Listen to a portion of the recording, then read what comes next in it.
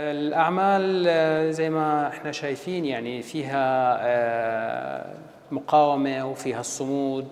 آه، فيها هاي الطاقة اللي موجودة عند الفنانين إنهم يقدروا يعبروا عن آه، الحياة اللي بيعيشوها تحت الحرب، الظروف القاسية والصعبة، آه، الأعمال بقدر ما فيها مقاومة وصمود، بقدر ما فيها حزن، بقدر ما فيها شهداء، بقدر ما فيها المعاناة اليومية اللي بيعيشوها الناس تحت الحرب في قطاع غزة.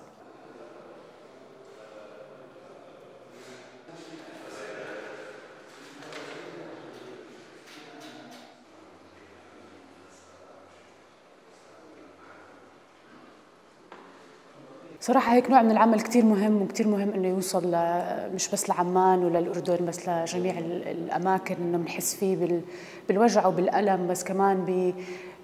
بصمود وباهتمام الفنانين إنهم